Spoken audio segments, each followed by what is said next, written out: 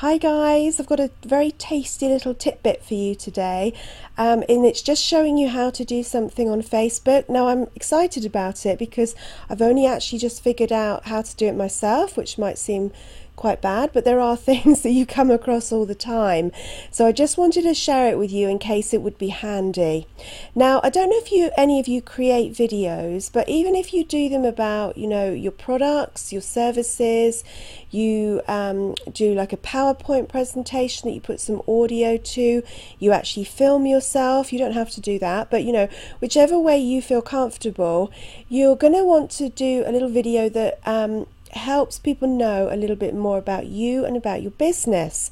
Now, I don't know if you've seen that some people actually have these videos appearing in their about section. So you can have, you know, your obviously in here you've got your normal website link, um, any links that you want to put in there, or you can put a few um, short bio about yourself and then you've got your link as well. Well, you can actually have a video appearing here, which is a really good way of sharing more about your business. Now, if you haven't done any videos yet, obviously um, maybe this is something for the future, but at least at that point you'll know how to do it. So this is actually on my Art of Crafts page. Now, it's not really um, a video from my Art of Crafts page, it's actually about um, blogging posts. So I've just put it here just so you can see what it looks like. And now I'm going to show you how to add that on my Cartwheels Across the Sky site. Now, if you do create videos, you probably upload them directly to YouTube. But what you can also do is upload them directly to Facebook. And this really helps you to share them across Facebook. And I think it gives you a little bit more oomph um, with maybe Facebook sharing them a little bit more often in the timeline if they've actually been uploaded directly to Facebook itself. So I'll just show you how to do that. The additional benefit is you can actually put a call to action on the end of your video. So say you were showing one of your products, um, you were doing a short video about your business, um, anything at all, at the end you can put to find out more info, here's the link, which is a really good way. You can also write um, in the section above it as well, and I'll show you how to do that. Okay, so all you need to do is you go in here, I'll go to my um, documents, uh, video, oops, videos, and I'm just going to upload one. It's actually already on there, but I'm just going to upload it. Now at the top you can put whatever you want to about the video. So this is about my business. Obviously you don't want to put that, um, but whatever you're going to put, you can put a link there as well. So um, you can also add a call to action. So you can put in here, learn more, sign up, book now, shop now, whatever is the most relevant for the video that you're uploading. I'm not actually going to upload this one because it's already been uploaded. So I'm just showing you what you can do. So you can put your URL in here. So it could be cartwheels across the sky.com um, that will actually fill in the details, but obviously if you want to change any of that, you can do if it's not bringing up the most relevant information. Um, and then you just hit publish.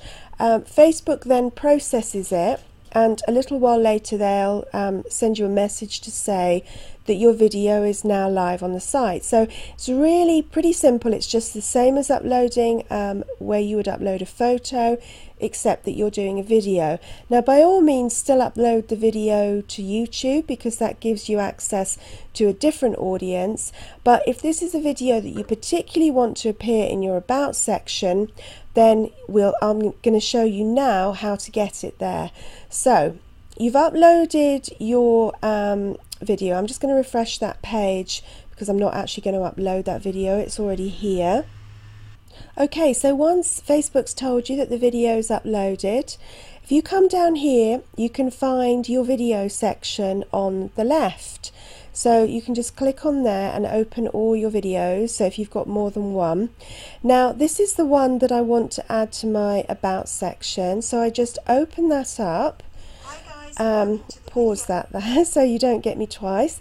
Um, so that's basically the video. I've uploaded it to Facebook and now I want it to appear on my About section on the left of the page because then more people will see it and you've got more possibility of them learning more about your business. And at the end, I'm not sure if I can show you that. Um, if I just. Oh, no, sorry.